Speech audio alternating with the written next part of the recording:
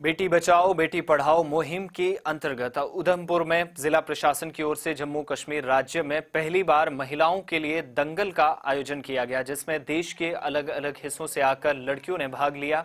दंगल के दौरान ज़िले के संबंधित विभागों के आला अधिकारी भी उपस्थित रहे, जिन्होंने इन खिलाड़ियों की हौसला अफजाई की। वहीं दंगल देखने वालों की भारी संख्या भी मौजूद रही। इस अवसर पर राज्य के वन मंत्री चौधरी लाल सिंह मुख्य अतिथि के रूप में उपस्थित रहे। इस महिला दंगल का मुख्य उद्देश्य लड़कियों को आगे लाना और उनके हुनर को निखारना है।